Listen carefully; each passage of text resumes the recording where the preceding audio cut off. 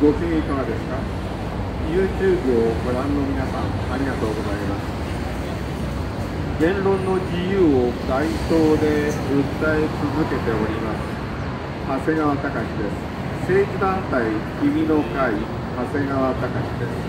ここは東京新宿駅南口改札前です。ただいま午後4時10分少々回ったところです。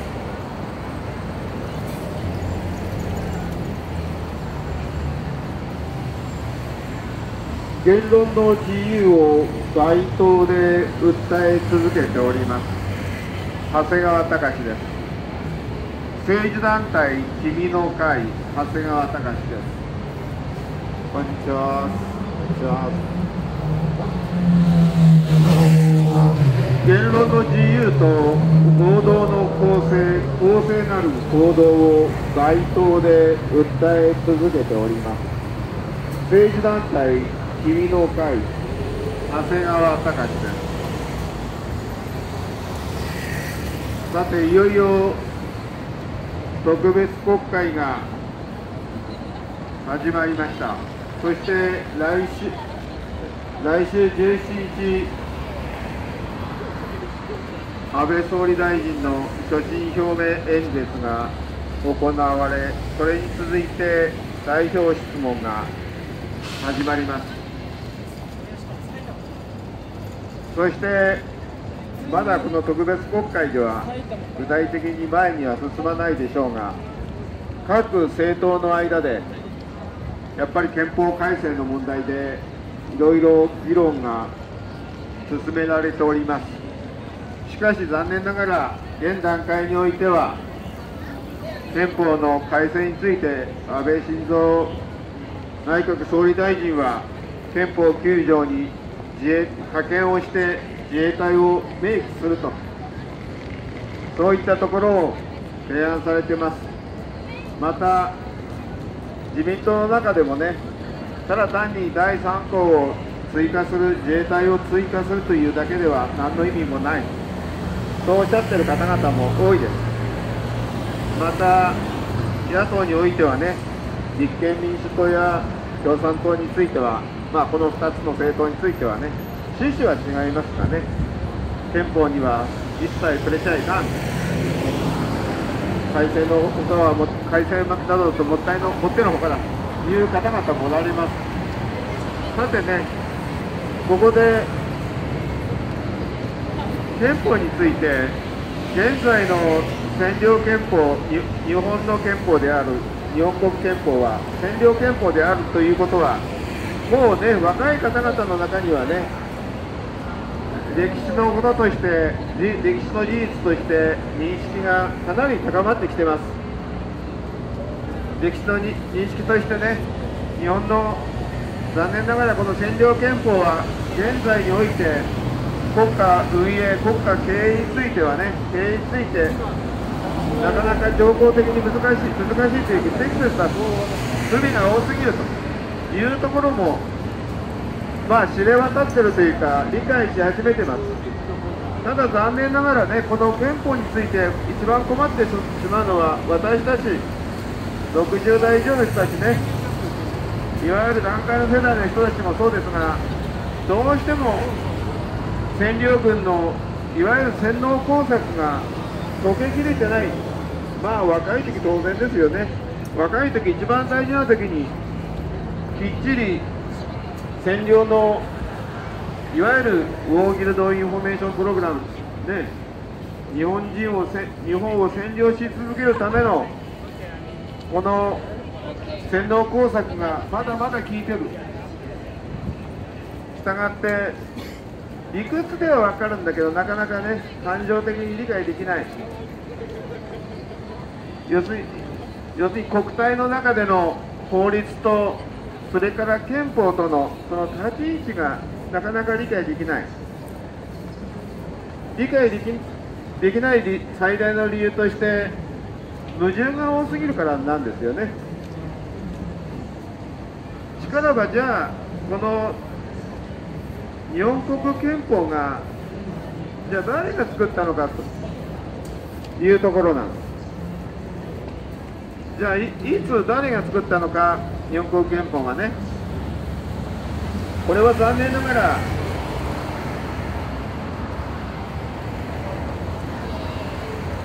憲法が作られた時日本は占領下でした。昭和21年にね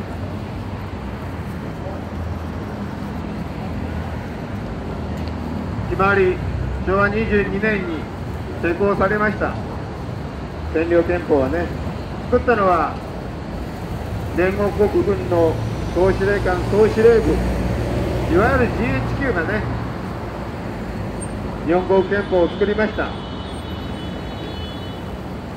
当然その間憲法にはね日本人が作ったというふうに書いてあるけどその時には残念ながら日本は米国をはじめとする連合国軍の占領下にありまして日本には主権がなかった。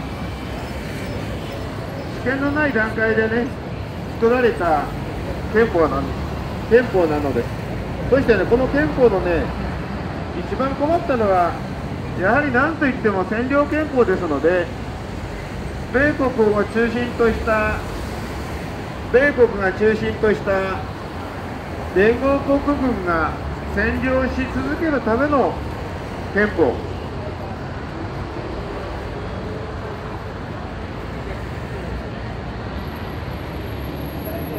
このどうしても占領し続けるために作った憲法ですので日本に主権そういう主権とかそういうことをね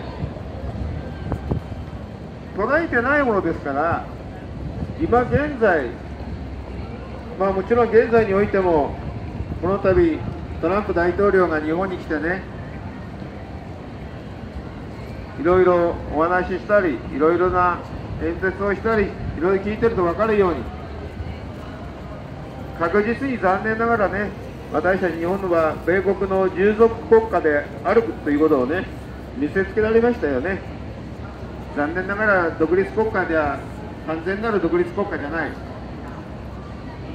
国家の安全保障においては完全に米国の下にありますからね。残念ながら。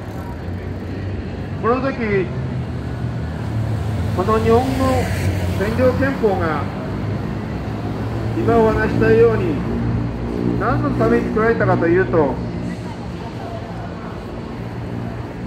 日本を米国が占領し続ける今日の状態ですよね。完全に占領し続けるための憲法である。それともう一つはこの連合国軍とは言っても現実はアメリカ軍ですよね。アメリカ軍が先の大戦で広島長崎に原爆を用いて大量虐殺をした。そして東京をはじめ地方の大都市中中小都市も含めて焼夷弾や爆撃でねこれも大量大量に虐殺をしたこれはもちろん犯罪です。戦争の領域を超えてます。この大量無差別虐殺に対して日本の報復を恐れ日本が米国をはじめ連合国軍にこんにちは連合国軍に報復できないように報復できないように作成されたのがこの憲法です。占領憲法です。まあこれもねネットであるいはさまざまな論文等で発表されているように占領憲法がどういう形で米国がどういう意識のもとにどういう方針のもとに作られたかということは議論するまでもなくもうすでに米国の公文書等でね当時の経緯と細かい経緯までね単語の選定まで公開されてます。それを見ると分かるように日本国憲法にはこの占領憲法には裏の条文がある。いわゆる裏の条文はあるんだけれども表の条文がない。この裏の条文とは憲法9条である。そして憲法9条の前提となるそのことは憲法の前の文前文に出ている平和を愛する諸国平和を愛する国々に対して憲法9条がある。武力と武力の行使を放棄した。これがこれが日本国憲法なんです。したがってじゃあ裏と表があるのに表の情報はどうかというと表の情報が最も大事な表の情報が日本国憲法には条文として書いておりません。それはいわゆるじゃあ具体的に現実として日本の領海を侵犯あるいは領土を領土を侵略したそういった国々に対してはどう対応するのかというところがこの憲法に書いてない。いわゆる憲法条項の表の部分の不備さすがにね。連合国軍も当時の GHQ も。侵略されたら。そのまま両手を上げて万歳して。占領されなさいということは。憲法にやっぱり書けなかったんですよね。さすがにそこまで書けなかった。したがって日本の国に対して。占領憲法で。侵略は絶対するなよ。日本の領土領海から離れるんじゃないぞ。増やそうと思うんじゃないぞと。いうところはきっちり書きました。これが憲法全文の平和を愛する諸国。そしてそれを前提とした憲法9条。武力を持たない武力の行使をしないというところな。んですところが残念ながら私たちの周辺少なくとも私たちの隣国ロシアは北方四島を占領し続け大韓民国にあたっては竹島を軍事占領しね、北朝鮮については日本人を拉致しまた日本の領海にミサイルを撃ち込み中国共産党に至っては尖閣諸島周辺の領海を侵犯しそして堂々と中国共産党は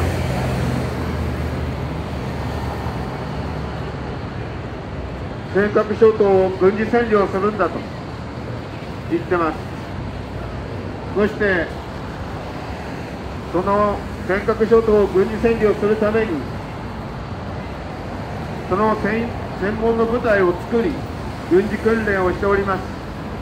これが現実なんですね。そうすると私たち日本の国の周辺国で少なくとも隣国で日本に日本に対して友好国あれはあるいは平和を愛する国々はあるのでしょうか？ということになるとない。残念ながらありません。しかしその国々に対して日本の国を侵略しよう。堂々と公言している。堂々と発表している。中国共産党においては尖閣諸島のみならず沖縄までもが中華中国共産党のものである。堂々と公言し始めている。このような時において日本がどう当たるかよく言い訳としてね憲法9条あるしかし今お話したように憲法9条はあくまでも裏の条項です。日本を侵略しよう侵略している国々に対して憲法9条は適用されません。これは法の体系法のもとから言って当然のことなのです。人間に自然権があるように国家には国家の自衛権があるのあります。この自衛権を否定することはできないのですどんな法律を持ってもそれはその条文を作った条文を作ってもその条文を効力を申しまありません。当然そうですよね。自然権ですからね。空気を知っちゃいけないと。法律で書こうが何にしようがそれはの法律のものが無効というよりも成り立ちません。それと同じように自衛のための公選権や武力の保持はどんな法律をもっても禁止することができません。このことは法の体系から言って我々人類の近代の法のもとにおいてはできないのです。したがって私は憲法に自衛隊を派遣するなどということは全く必要のないことです。